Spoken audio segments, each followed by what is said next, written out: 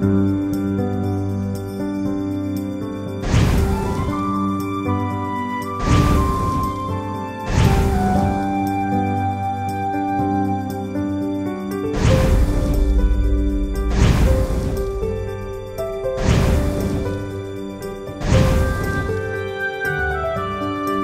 หลังจากที่กลุ่มคนไทยรักสถาบันและพี่ปองอัญชลี ร่วมจัดโครงการอุปสมบทหมู่จำนวน 45 รูป ถวายพระพรชัยมงคล สมเด็จพระเจ้าลูกเธอเจ้าฟ้าพัชรกิติยาภานเรนทิราเทพยวดี กรมหลวงราชสารินีสิริพัฒน์มหาวชระราชธิดา ณวัดบวรนิเวศราชวรวิหาร โดยมีคุณนิติพงษ์หอนาค นักแต่งเพลงชื่อดังเป็นประธานโครงการอุปสมบทหมู่ พร้อมด้วยพี่ปองอัญชลีภัยรีรักผู้ประกาศข่าวชื่อดังของสถานีข่าวท็อปสนิวคุณสินใจเปล่งพาณิชย์ดารานักแสดงชื่อดัง คุณออนภากฤษฎี หรือคุณม้าออนภา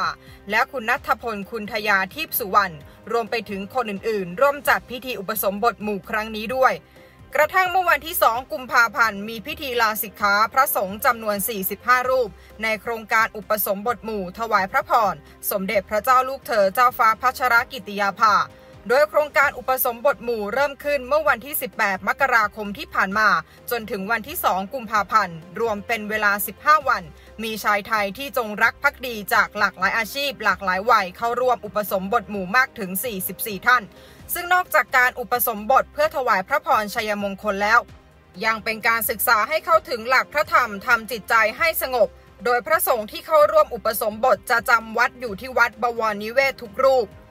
ล่าสุดม้าอนภาโพสต์ข้อความร่วมอนุโมทนาบุญ มาถวายพระตาหารเช้าแก่พระนวกะ 45 รูป เป็นวันสุดท้ายก่อนลาสิกขาบท เอาบุญมาฝาก อนุโมทนาบุญกับจิตอาสาทั้ง 45 คนและเจ้าภาพ รวมทั้งผู้ร่วมบุญทุกท่านที่ได้ทำทุกอย่างเสร็จสิ้นตามจุดประสงค์ที่ได้ร่วมกันในครั้งนี้ เพื่อสมเด็จเจ้าฟ้าพัชรกิติยาภาให้ทรงหายจากการประชวรด้วยเถิด ขณะที่นกสินใจเปล่งพาณิชย์ได้โพสต์ข้อความร่วมอนุโมทนาบุญเช่นเดียวกัน 1 กุมภาพันธ์ 2566 ได้มีโอกาสไปถวายอาหารร่วมกันกับเพื่อนๆ น้องๆ ซึ่งเป็นวันสุดท้ายที่พระในโครงการอุปสมบท ถวายเจ้าฟ้าผ่า 45 รูป จำวัดณสำนักปฏิบัติธรรม 200 ปี วัดบวรนิเวศ คลองสามวา นิมิตใหม่ ซอย 12 เขตมีบุรี